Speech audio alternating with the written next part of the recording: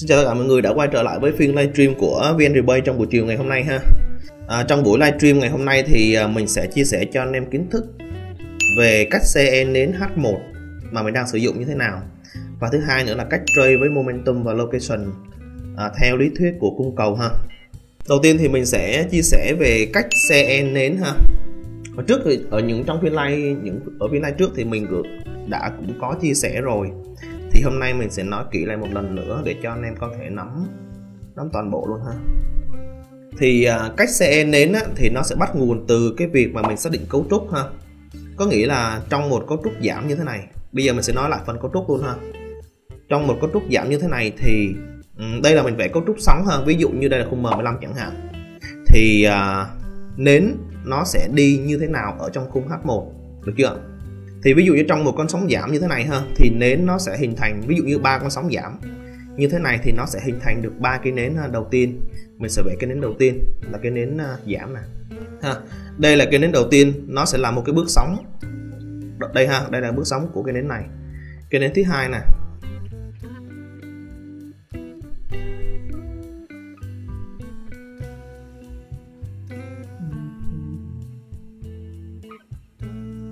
à, cây nến thứ hai thì nó là sẽ là sẽ là bước sóng bên này. Và cây nến cuối cùng ha. Được chưa?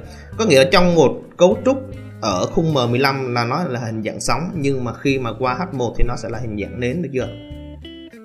À, đó nghĩa là sự cấu trúc nó sẽ giảm như thế này. Đúng không? Cấu trúc giảm như thế này. Theo mà nến ở khung thời gian cao. Được chưa? Thì ví dụ như bây giờ nếu mà cấu trúc đảo chiều thì sao? Nếu mà cấu trúc đảo chiều thì bắt buộc giá nó phải đóng cửa trên cái đỉnh này đúng không ạ? Có nghĩa là cấu trúc đảo chiều ha, nó nếu mà cấu trúc đảo chiều thì nó phải bắt buộc phá vỡ cái đỉnh mà tạo ra cái đáy thấp nhất này, đúng không ạ? Thì mình sẽ cần một cây nến tăng ha, một cây nến tăng, đóng cửa hoàn toàn trên cái mức cái nến này để mình đổi màu xanh nha. Rồi một cái nến tăng.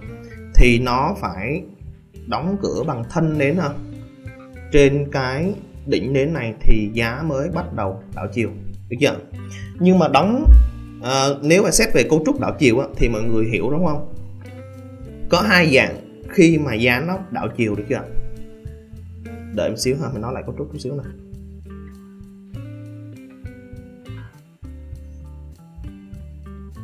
trường hợp một này giá đảo chiều này giá đảo chiều, trường hợp một ha, thì giá nó phải tạo được một đáy sau cao hơn đáy trước và nó phá qua cái vùng vùng đỉnh này. Được chưa còn trường hợp hai là nó phá qua luôn.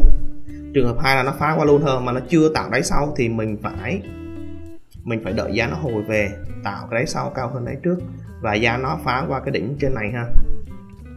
Giá qua, phá qua cái đỉnh trên này thì giá nó mới bắt đầu đảo chiều được chưa vậy thì bây giờ bên này là trường hợp đầu tiên này trường hợp thứ hai này là giá nó từ đây nó phá lên luôn đúng không ạ? Giá nó phá lên luôn và đóng cửa trên cái đỉnh đến này rồi. Thì trường hợp này là thuộc trường hợp số 2 à, nó chưa tạo đáy sau cao hơn đáy trước mà nó phá luôn. Thì mình cần phải đợi thêm một cái đến tăng nữa. Đóng cửa đóng cửa trên cái đỉnh nến này ha. Đóng cửa trên cái râu nến này để điểm về cái râu này.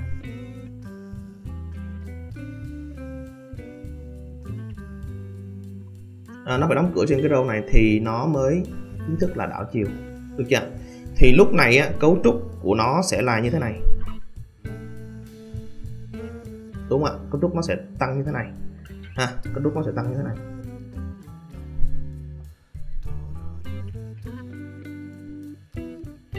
Rồi trường hợp đầu tiên còn trường hợp à, đầu tiên này. Khi mà giá nó tạo được đáy sau cao hơn đáy trước rồi. À, ví dụ như nó tăng tới đây thôi và nó có một cái râu. Và cái râu nến của nó nó thấp hơn. Nó cao hơn so với cái râu nến này.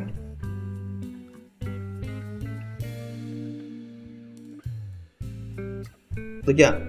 Nó cao hơn đầu nến này và tiếp và tiếp theo nó có một cây nến tăng, phá vỡ qua cái cây nến thấp cuối cùng. Thì ở trường hợp này là giá đó bắt đầu đảo chiều ha. Đó giá đo đảo chiều. Được chưa anh em ha? Và mình sẽ áp dụng cái mẫu hình nến đảo chiều này vô những cái vùng zone cung cầu ha để mình xác nhận tín hiệu. Có nghĩa là khi ví dụ như trong một xu hướng tăng chẳng hạn và giá nó hồi về những cái vùng cung cầu ví dụ đây là một vùng cung cầu của khung thời gian D và nếu nó xác nhận như thế này thì mình đã đủ điều kiện mình vô lệnh ha.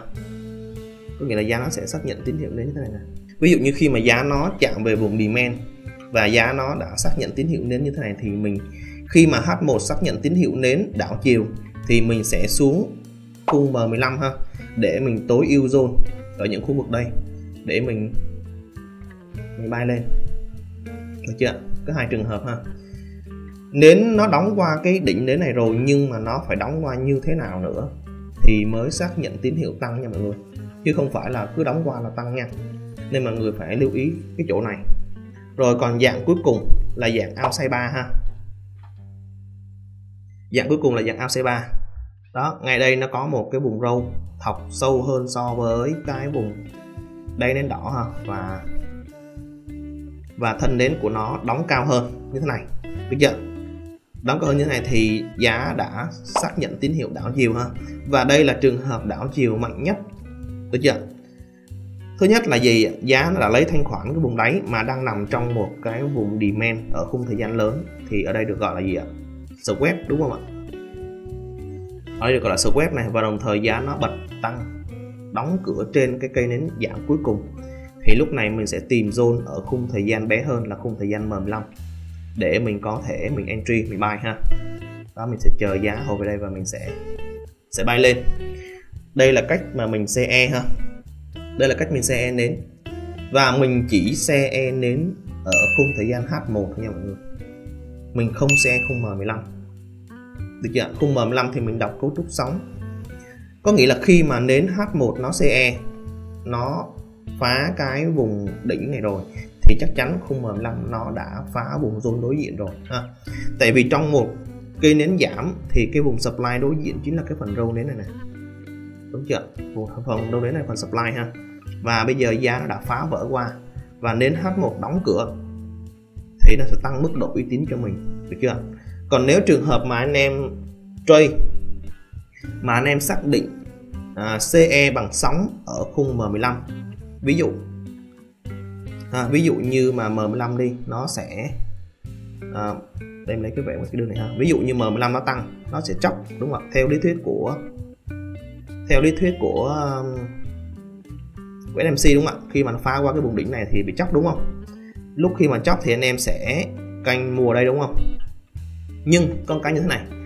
À, ở khung M15 giá chóc vào phút thứ 30 chẳng hạn ví dụ như 3 giờ 30 M15 nó tăng lên chóc rồi đúng không ạ? Tăng lên chóc rồi. Xong đến phút à, 3 giờ 45 3 giờ 45 nó sẽ hồi về đây. Xong đến à, 4 giờ nó sẽ hồi chạm vô đúng cái vùng rôn của mình luôn thì lúc này á, thì cây H1 nó sẽ thành cây rút chân rút râu phía trên. À, lúc lúc đó H1 sẽ rút râu như vậy này. Đó H1 nó sẽ bị rút râu. Thì mức độ uy tín nó sẽ không còn cao nữa ha. Cho dù mặc dù là M15 đã CE rồi nhưng mà đến H1 nó rút râu như thế này thì khả năng fail là rất là cao ha. Trong khi đó nếu nến H1 nó đóng tăng đóng cửa trên cái đỉnh nến và đồng thời nến và đồng thời sóng ở khung M15 nó xác nhận thì mình limit nó sẽ tăng mức độ uy tín hơn. Ha. Mặc dù là CE đúng đúng mẫu hình đúng kiến thức nhưng mà tại sao mình vẫn bị SL là một trong đó là một trong những lý do là H1 vẫn chưa đóng nến ha. H1 chưa đóng nến mà lúc khi nó quay về nó test thì lúc này H1 bị rút chân. À, đây là một số kinh nghiệm mà mình đánh trước giờ thôi nên mình sẽ chọn cái khung mà mình CE là khung H1 còn mà cái khung mà mình lên buy app á, là khung daily. Được chưa? Khung daily ha. Thì cái cách đọc nến nó sẽ là cái bản chất nó cũng như nhau nhưng mà anh em sẽ áp dụng CE hay là anh em áp dụng để lên buy app nó đều được được chưa? Ví dụ như bây giờ nến nó xác nhận tăng rồi. Ở đây là khung daily đúng không ạ? Ví dụ đi một khung đây là khung daily thì buy ad của ngày hôm nay là gì ạ? Buy của ngày hôm nay là chủ đạo kênh mua tí nữa mình sẽ lấy ví dụ con EU ngày hôm qua luôn ha. Ví dụ như đây là khung daily chẳng hạn, thì mình sẽ canh mua ở đâu? Mình sẽ canh mua ở cái vùng demand này. Đúng chưa? Mình sẽ canh mua ở cái vùng demand này. Thì lúc này á, cái giá mở cửa của mình nó mở cửa ở đâu ngay? Nằm đây, nằm ở đây ngay đây này. Đó. Giá mở cửa nằm ở ngay đây và cái vùng kênh mua của mình nằm tốt dưới này. Vậy thì cách xử lý trong ngày như thế nào? Một là mình có thể canh sell counter trend về cái vùng zone này khi có tín hiệu. Và khi mà giá chạm vô cái vùng dùng vùng zone này thì mình có thể, một là limit luôn, hai là mình sẽ lại bằng nến, được chưa? Tùy vào khẩu vị rủi ro của mỗi người mà mọi người sẽ chọn cách entry nó như thế nào. Đây là cách xe nến ha, và cách đặt nến để mình lên máy app daily như thế nào. Và bây giờ mình sẽ chuyển qua một cái phần khác là phần momentum trade và location trade ha. Mình sẽ ví dụ cho anh em. Và mình sẽ recap lại cái lệnh EU ngày hôm qua mình vô luôn ha. Momentum trade có nghĩa là trong một khung thời gian mình trade ha. Ví dụ như mình trade trên khung thời gian H1 chẳng hạn trong một cấu trúc tăng như thế này. Nó tạo ra những cái vùng demand mới. À, nó tạo ra những cái vùng demand mới thì mình cứ cứ canh mua tại những vùng demand này thôi.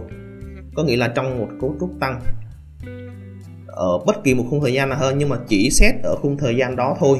Có nghĩa là chỉ xét ở khung thời gian ví dụ như H1 hoặc là khung M15 thì mình chỉ xem đúng cái khung đó thôi. Và nó tạo ví dụ như trong một cấu trúc tăng nó tạo cho mình cái demand thì mình cứ mua. Nó tạo demand thì mình cứ mua thôi ha. Ví dụ như nó tạo demand này thì mình cứ đặt lệnh mua thôi. Đến khi nào nó gãy thì thôi. Ở trường hợp này được gọi là momentum trade. Có nghĩa là mình sẽ trade thuận xu hướng với khung thời gian mà mình đang xem.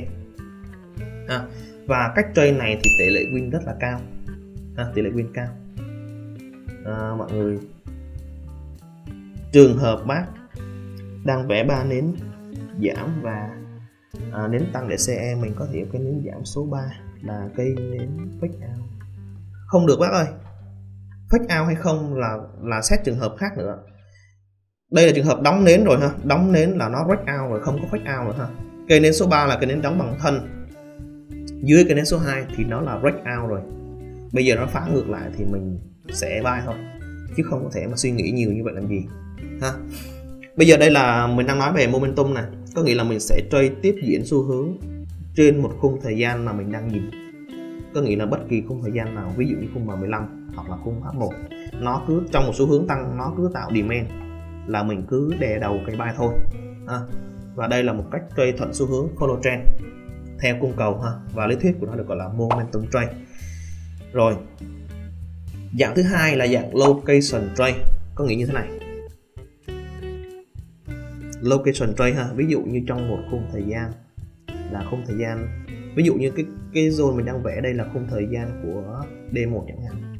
Ha, đây là khung thời gian của D1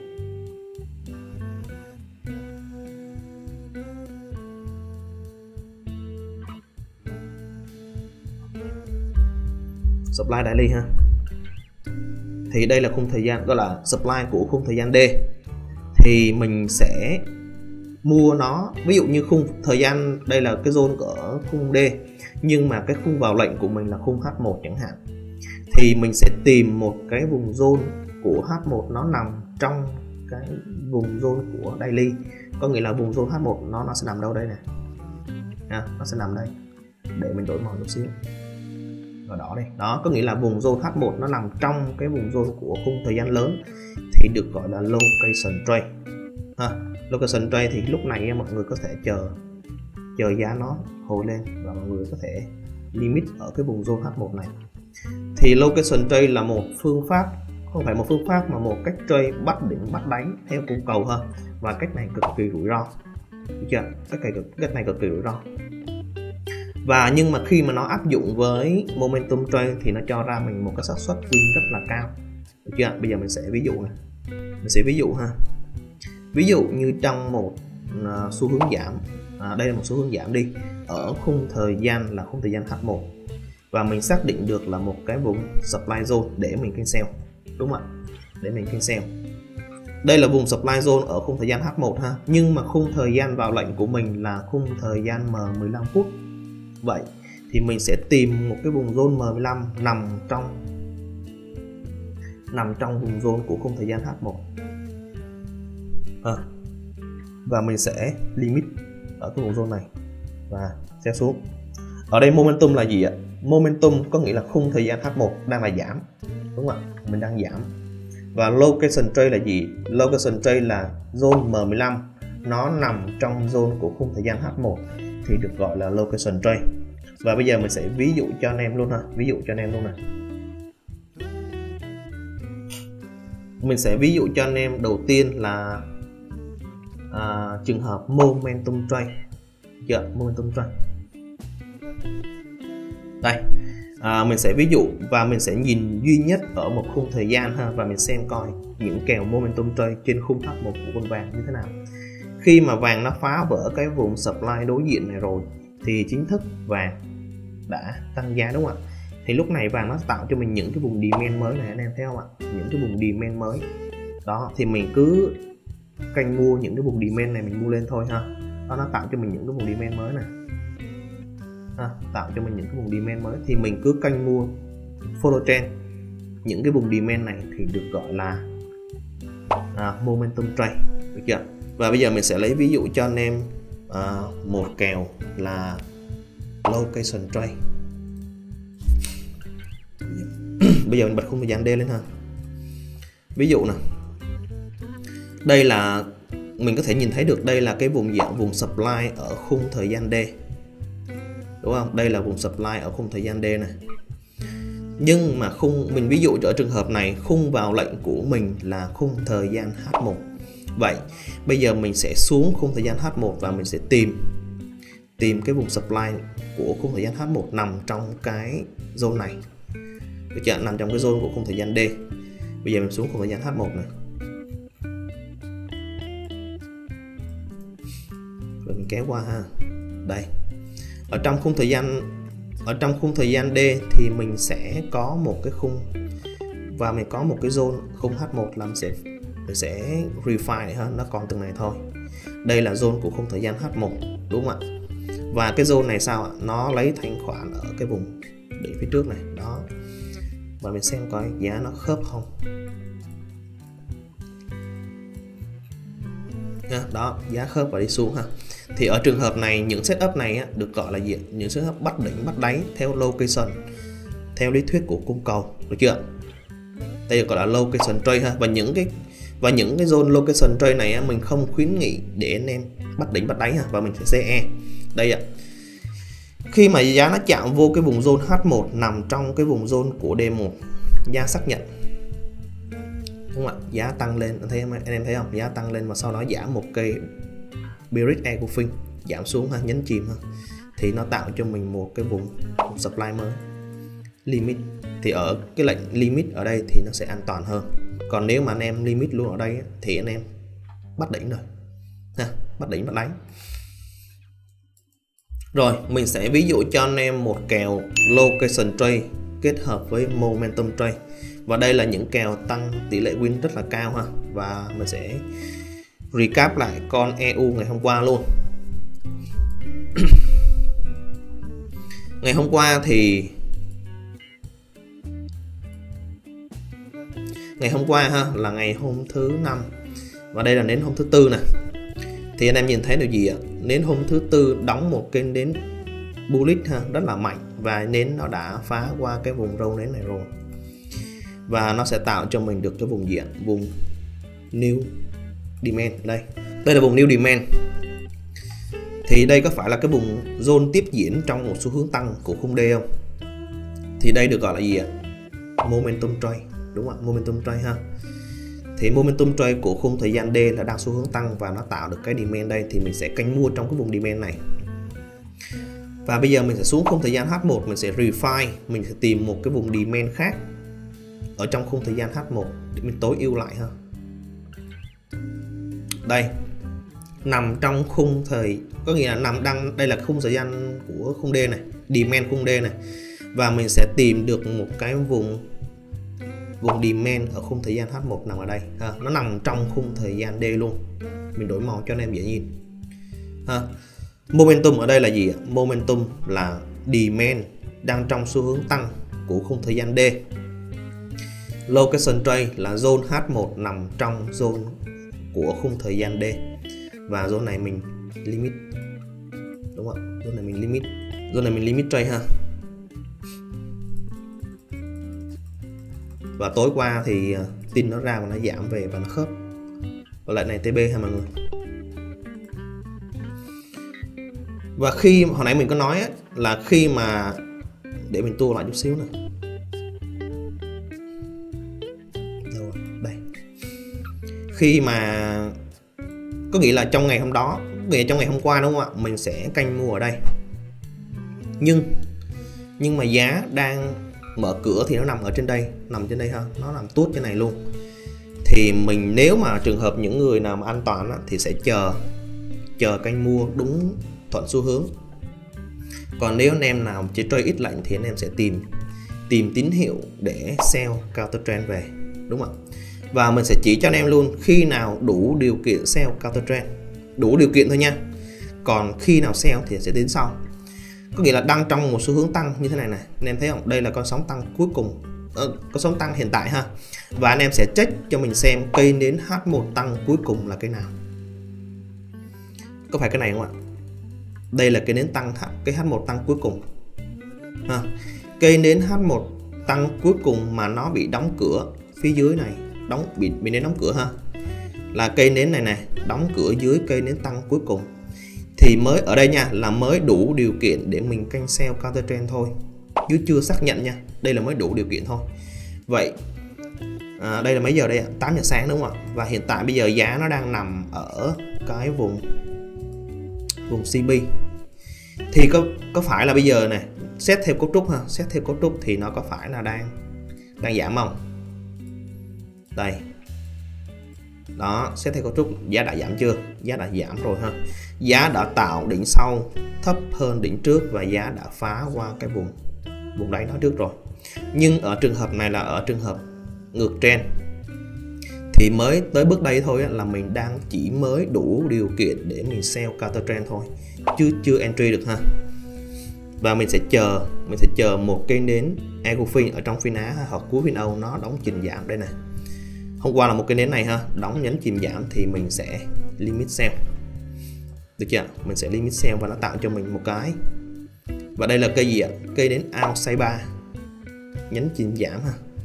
Thì lúc này mình sẽ xuống khung M15 nó có một cái vùng zone đâu đây. Và mình sẽ limit cái vùng zone này ha. Và giá đã TB trong buổi tối ngày hôm qua. Và hôm qua mình đã ăn được kèo sell này và cũng ăn luôn kèo ba này luôn. À. mình có úp nhóm cho anh em thấy có nghĩa là mình sẽ đọc nến thôi, đọc nến xác nhận cấu trúc ở khung thời gian H1 và khi mà nến H1 này đóng cửa là lúc 14 giờ ha, có nghĩa lúc 3 giờ chiều. Thì mình xuống khung M15, mình check khung M15 coi. Đây này mọi người, khung M15 có một cái zone rất đẹp ha. Đó, zone rất là đẹp và giảm xuống. Tiếp tục này. Mọi người hiểu chưa? Hiểu cách mà mình vô lệnh cách mà mình phân tích một lệnh. Nó sẽ như vậy ha. Nếu ngày hôm đó chủ đạo của mình là canh mua thì mình xem coi um, có thể canh sell counter trend được hay không. Nếu mà biên độ cung cầu quá ngắn có nghĩa là từ khoảng cách mà giá mở cửa đến cái vùng canh mua của mình nó quá ngắn đi thì mình sẽ chờ canh mua luôn ha mình không sell nữa. Nhưng mà nếu khoảng cách nó xa nó đủ điều kiện cho mình có thể ví dụ như mình đo từ đây này từ cái điểm mình sell mà về tới cái vùng kênh mua của mình nó trên 3R ha. Trên 3R thì mình có thể entry được. Nhưng mà nếu từ cái điểm sell của mình mà về tới cái vùng này chỉ tầm 2R 2,5R thôi thì thôi bỏ kèo này ha mình không sell. Có nghĩa là cái cái mức độ ờ, cái cái khả năng của mình lời nó sẽ ít hơn 3R thì mình sẽ không đánh những cái kèo counter trend như thế này đây là mình recap lại cái lệnh ngày hôm qua mình vô ha. Và mục đích đích của mình phiên live stream ngày hôm nay mình chia sẻ kiến thức cho anh em cách xe nến cũng như là cách trade momentum và location. Thì anh em có thể coi lại phiên live ở đầu phiên live ha, mình chia sẻ. Thì cũng mong anh em có thể áp dụng vô trong cái hệ thống trade của mình để tăng cái xác suất win lên ha. Ok, cảm ơn anh em nha.